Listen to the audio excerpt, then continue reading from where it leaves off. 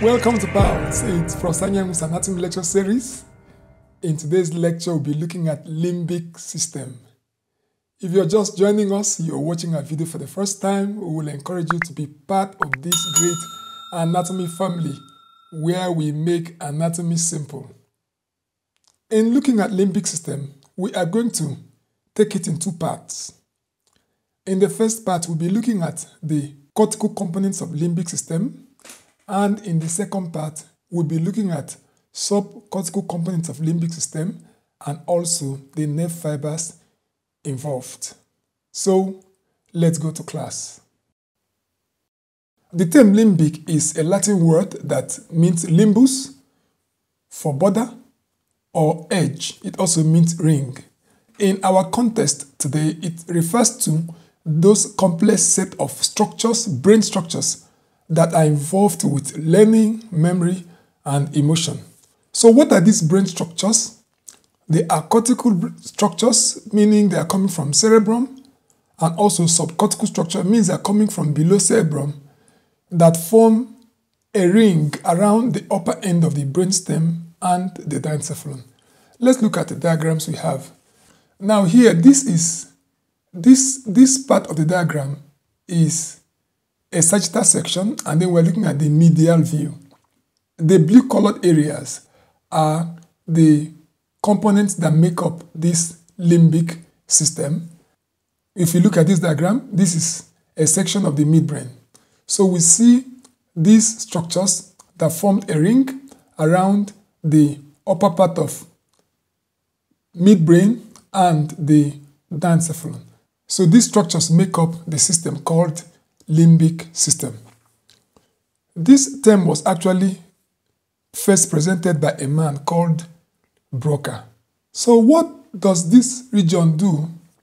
It separates the medial surface of the cerebral cortex from the diencephalon. Now let's also look at our chart.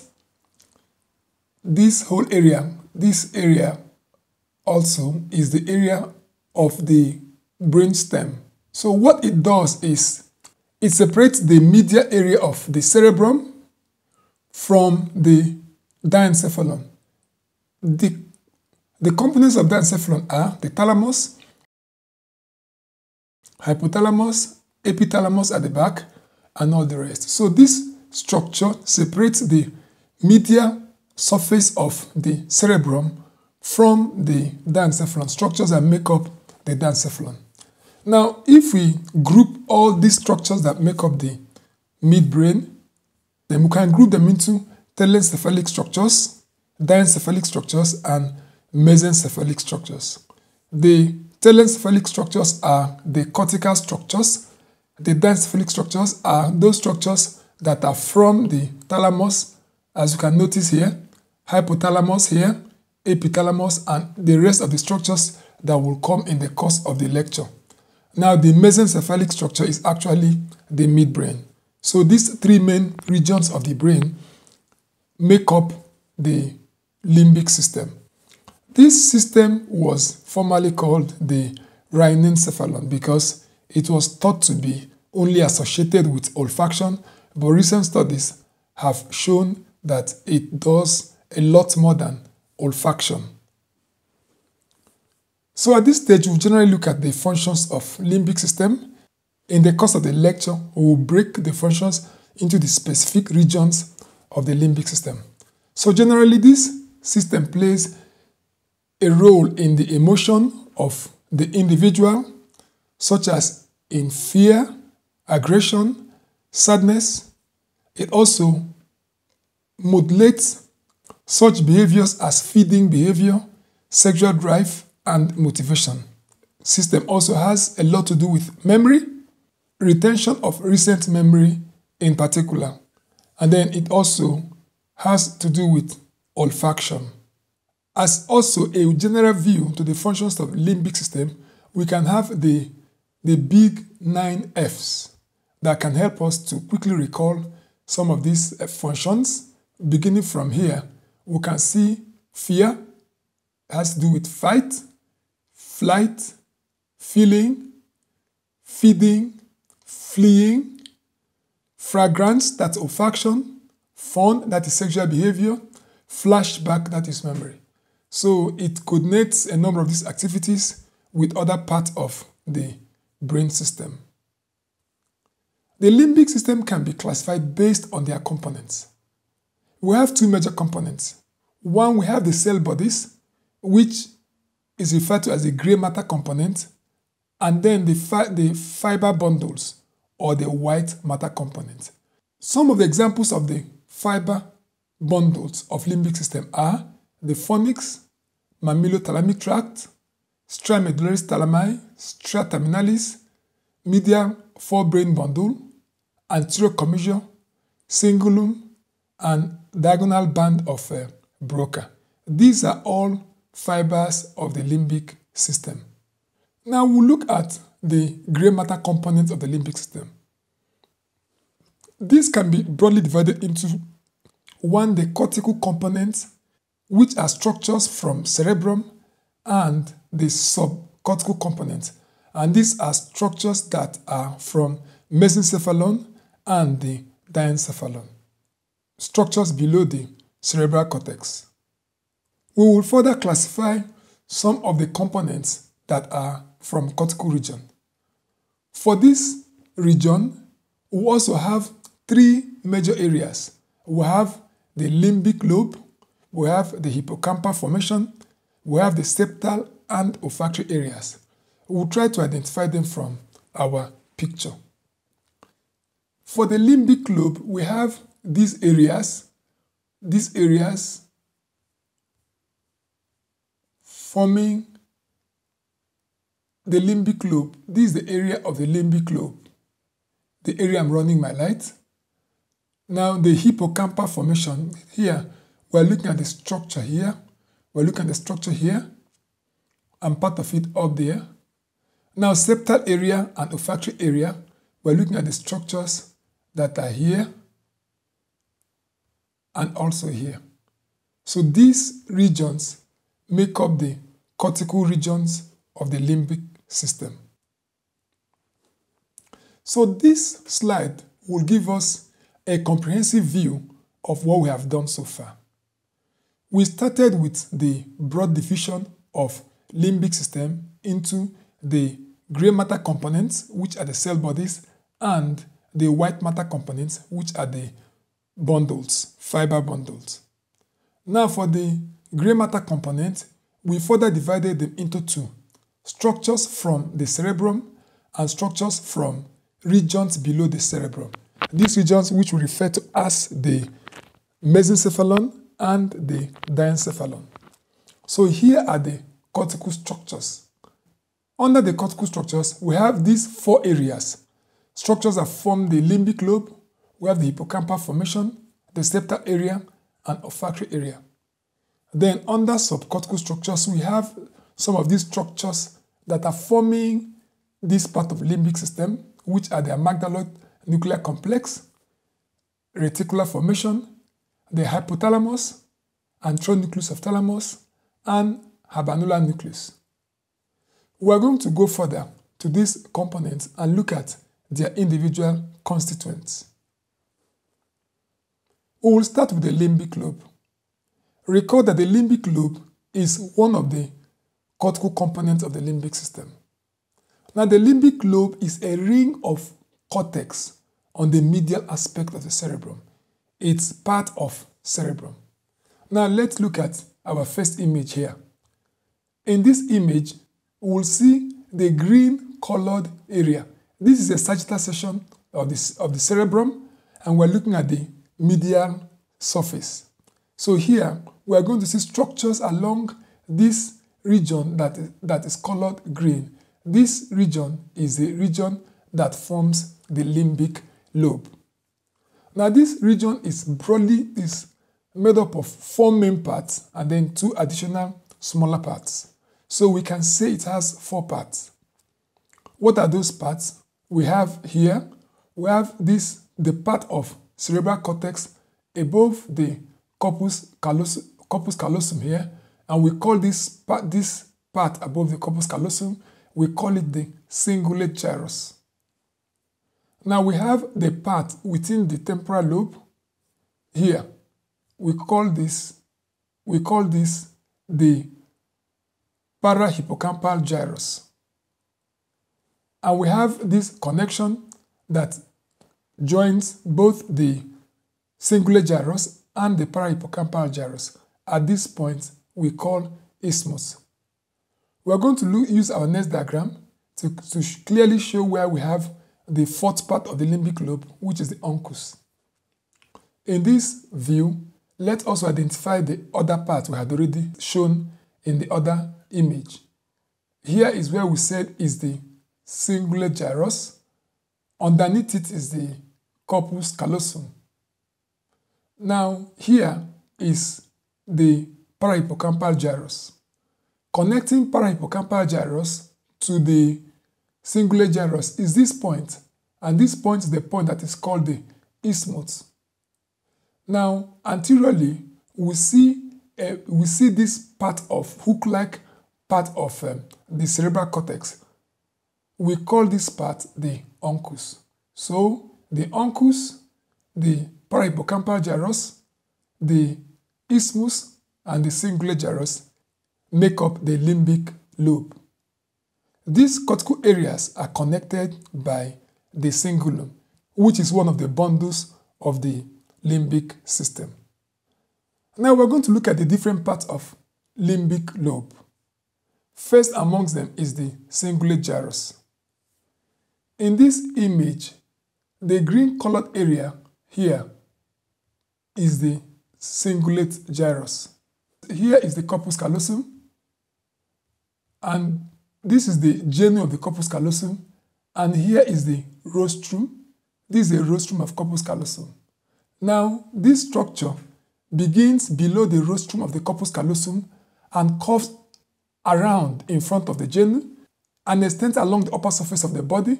Here is the body of the corpus callosum, moves down towards the splenium of the corpus callosum, and this is, this, this is the splenium of the corpus callosum. From here, it will continue as the parahippocampal gyrus, where it will be joined by the isthmus. Now the cingulate gyrus has two parts. The two parts, we have the part anteriorly and the part, we also have the part posteriorly. Now the part anteriorly is called anterior cingulate gyrus and the part posteriorly is called posterior cingulate gyrus. The cingulate gyrus is the subject of many cognitive and neurocognitive studies. This is because damage to cingulate gyrus can affect our ability to respond to certain stimuli that will now result to abnormal behavior such as aggression, shyness, or even a decrease in emotional expression. The cingulate gyrus has also been implicated in Alzheimer's disease, anxiety disorder, addiction, depression, bipolar disorder, and schizophrenia. We'll look at the functions of cingulate gyrus and also the lesion. The cingulate gyrus coordinates sensory inputs with emotions. It also coordinates emotional response to pain, regulates aggressive behavior, affects maternal bonding, language expression and communication, and decision making. When we have lesion of the cingulate gyrus, these are some of the conditions that will be noted. One, we have uh, akinesia, which is a movement disorder that is characterized by slow, repetitive movement. We also have mutism, which is inability to speak. We also have apathy, which is lack of motivation to do anything. In fact, it's lack of care and concern for whatever goes around the individual. And we also have indifference to pain. The next part of limbic lobe we'll look at is the uncus and isthmus. Again, let's go to our picture. Here again is the uncus. The uncus is the innermost part of the temporal lobe and it is hooked like in appearance and this is also why it's giving the name uncus. The anterior segment of uncus overlies the amygdala. This around here is the point where we get our amygdala. Uncus is sometimes considered as part of parahippocampal gyrus. Now the next part of limbic lobe we'll look at again is the isthmus. This is also a cortical matter that connects the cingulate gyrus here with the parahippocampal gyrus here. It is considered a terminal part of cingulate gyrus. Now look at the last part of the limbic lobe, and this is the parahippocampal gyrus. Now, parahippocampal gyrus is part of the cerebral cortex that is around the hippocampus. Let's look at the areas from our picture. Here is the hippocampus and the cerebral cortex around it here will form our parahippocampal gyrus. This region plays an important role in memory encoding and retrieval. The septal nuclei are masses of gray matter that lie immediately anterior to the lamina terminalis and the anterior commissure. Let's identify these features from our pictures. Now, the sagittal section, we are looking at the medial part. This is the corpus callosum, and here is the rostrum, and we have the anterior commissure here, where my light is. And below the anterior commissure, we have the lamina terminalis. So the region called septal region is on the medial aspect of the frontal lobe that is beneath the genu and the rostrum of corpus callosum. So that is the that's the genu and that's the rostrum. So this septal area here is below both the genu and the rostrum of the corpus callosum and it also has some areas. Let's look at our next image. Here, let's identify the structures again. Here is the rostrum, that's the genu. Here is the lamina terminalis. Now we have, and then this area is the septal region. Now septal region has some parts. We have some gyri under the septal region. The first is the paraterminal gyrus. And here is the paraterminal gyrus, this green colored area. Now adjacent to it is the next gyrus in this septal region called parolfactory gyrus. And here is parolfactory gyrus. Superiorly, the septal region continues as the indusium griseum. Here is the indusium griseum. The septal area is the pleasure zone of the brain. For the connections of the septal region, we'll start with the afferent connections. Now, these are connections that are coming to the septal region. Most of the major regions that connect to the septal regions are one, the olfactory region, that's by means of the olfactory tract. Then the next is the amygdala. The amygdala connects to the septal region, and this is through the stria terminali and also the hippocampus, and this is through its uh, main efferent, which is the fornix. Let's look at our picture. In this uh, picture, here is the septal region, and the first connection should be coming from here, which is the olfactory connection. Now, the second connection is from the amygdala, and this is the amygdala. And we have a projection for the amygdala, which is the stria terminalis, which will run across the posterior aspect of the thalamus and then connect to the septal area.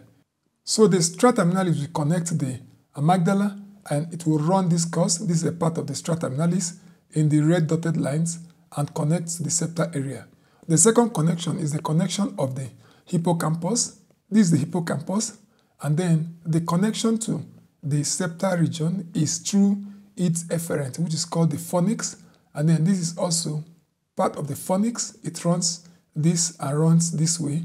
And then this, this fiber here, the lighter fiber, not the red one, will also connect to the fornix. So the hippocampus connects, this is the hippocampus, connects to the, to the septal region via the fornix. The amygdala connects to the septal region via the strata terminalis. The major area the septal region connects to is to the habenula nuclei, which is part of the epithalamus. And this is the fiber through which it does that connection. and the name of this fiber is stria medullaris thalami. This is the point of a habenula nuclei. Now we look at the third part of the cortical component of the limbic system. And this part is the part we call the hippocampal formation. Now, hippocampal formation has so many components. The major components of hippocampal formation are one, the hippocampus itself, called the hippocampus proper. We also have the dentate gyrus, then the subiculum. Now we have smaller components of this hippocampal formation, which are the indusium griseum, very poorly developed, the gyrus fasciolaris.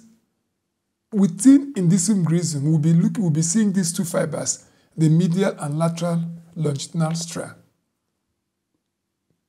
Here is the hippocampus proper, and part of the structure here is the, the dentate gyrus, and then the posterior part of the hippocampus is the area called the subiculum, and then the posterior part of the dentate gyrus will be the part that will form the gyrus fasciolaris.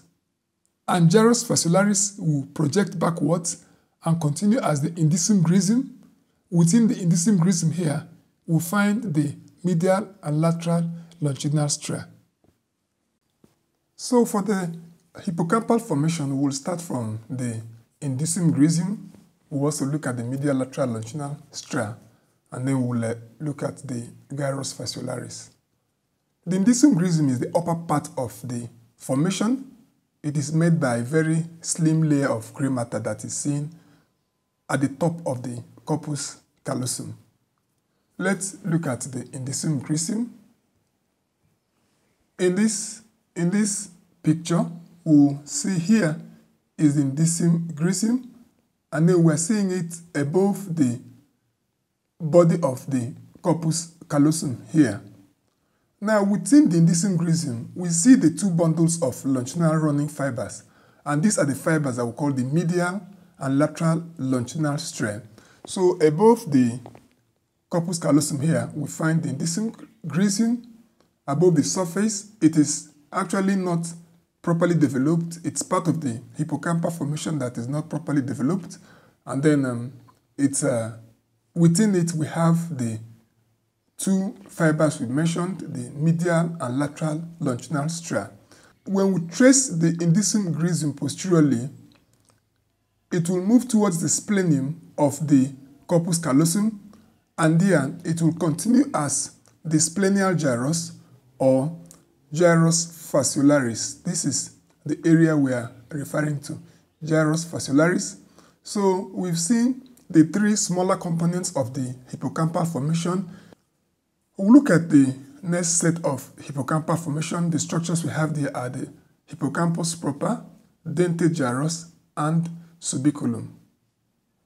A transverse section through the hippocampus proper, dentate gyrus, and subiculum will give us an S-shaped appearance. In this image, we are looking at three structures of the hippocampal formation. One is the hippocampus proper, two is the dentate gyrus, and three is the subiculum. Now, this is the S-shaped appearance. This is the S-shaped appearance. Usually, this S-shaped appearance gives us the seahorse image that hippocampus derives its name from. Now, in this S-shaped image, we'll, be, we'll see the upper limb. This is the upper limb of the S. This is the middle limb of the S. And here is the lower limb. We'll see a fissure here. This fissure is called the hippocampal fissure. The hippocampal fissure will separate the upper and middle limbs of this S shape of the hippocampal formation. The superior limb of the S will form the hippocampus proper. Here we'll be looking at this the superior part. This superior part will give us the hippocampus proper and part of the dentate gyrus. Here, this colored part here will give us the dentate gyrus, and this the rest part here will give us the hippocampus proper. And the now this upper part that gives us the hippocampus proper is also called the Hammond's horn or conu Hammoni because of its uh, resemblance to the horn of um, a ram.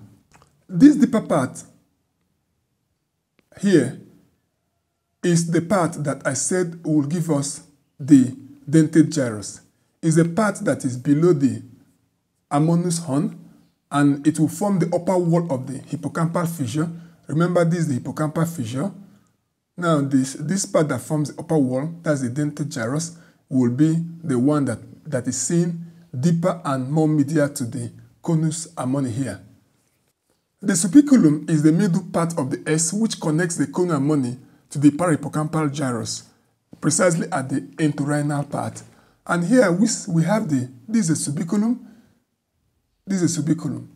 Now the subiculum will act as a transition zone and um, the transition zone is between the parahippocampus gyrus and the conus ammoni. Here is where the subiculum continues as the parahippocampal gyrus beginning at the entorhinal region of parahippocampal gyrus. If we look at this other image, the image here, this is the conus ammoni, this is the conus ammoni, this is the deeper part, the dentate gyrus, and here we see the subiculum, and from this point, we see the connection of subiculum to the parahippocampal gyrus, beginning from the first part of parahippocampal gyrus called the entorhinal cortex. The anterior end of the hippocampus gives this expanded notched appearance that gives the shape of a foot, as you can notice here. Now, because of this resemblance to a foot, it's also sometimes called the pes hippocampi. The ventricular surface of the hippocampus is covered by a layer of nerve fibers that will eventually form the alveus. The fibers of the alveus will move medially and collect to form a bundle of fibers. We're looking at this green part of the, pic of the picture, and this bundle of fibers will be called the fimbria. The fimbria will project above the medial part of the hippocampus and run backwards along the medial side of the hippocampus to become continuous with the fornix. We'll look at dentate gyrus. The dentate gyrus is a longitudinal stripe of gray matter and it is seen lateral to the conus ammoni. Its medial margin is free and bears a series of notches that give it the dentate appearance. Now, in this image, here we find the conus ammoni or hippocampus proper. And then within, medial to it, we see the medial aspect of the dentate gyrus with a notched appearance, as we can see here. We see the fimbria we just mentioned that will move backwards to form the fornix. When traced anteriorly, the dentate gyrus will continue with the uncus. Now let's see this in the next image here. Now, this is part of the dentate gyrus that will be traced anteriorly to continue as the uncus. Because of the close relationship between the dentate gyrus and the uncus, sometimes the uncus is regarded as part of the hippocampal formation. Now we'll just take a little look at the hippocampus proper. That's hippocampus proper. And it gives a C-shaped appearance in a frontal section. The structure of the hippocampus is different from the rest of the cerebral cortex because while most of the cerebral cortex is six-layered, the hippocampus cortex is made up of three layers. It can be divided into four cytoarchitectural areas. We have the C1, C2, C3, and then the C4. The C1 is especially vulnerable to hypoxia. That's the C1 here. In the connections of the hippocampus, we have um, a number of afferent and efferent connections. The major afferent connection to the hippocampus is from the parahippocampal gyrus, which is from the entorhinal area. So for this, for the areas connecting to the hippocampus, we have the entorhinal area, that's area 28. We have the olfactory cortex, we have the amygdala, the opposite hippocampus, and the parahippocampal gyrus. Now we'll consider the efferents of the hippocampus. For the connections of the hippocampus, the major efferent of the hippocampus is the fornix. The fornix connects the hippocampus to some of these bodies. One, it can connect to the opposite hippocamp hippocampus. Two, to the septal nuclei. Three, to the anterior hypothalamic region and to the mammillary body. Now from here, we can pick the, this is the hippocampus, and then we can trace the major efferent, which is the fornix. That's the fornix, the, the, the line in blue. Now from here, we're seeing the connection here is the connection going to the opposite hippocampus. That is, there will be a commissure, which is called the hippocampal commissure or the commissure of the fornix, where it connects with the other hippocampus. Number two, the fornix can move towards the anterior part and be connected to any of these three areas. Number one, this one is going to the anterothalamic nucleus, that is to the thalamus. And then two, this one is going to the mammillary body, that is hypothalamus. And three, this one is going to the septal nuclei. For the function of hippocampus, it's, um, it's involved in what we call FOS, that's formation, organization, and storage of memory. It can be referred as a memory indexer because it sends memory to appropriate part of the cerebral hemisphere for long-term storage and retrieving them when necessary. This is where we come to the end of this part of the lecture. We hope this material has been very useful to you. If you actually found it useful, we would love you like our video and subscribe to our channel. Thank you so much and see you in our next video. Bye for now.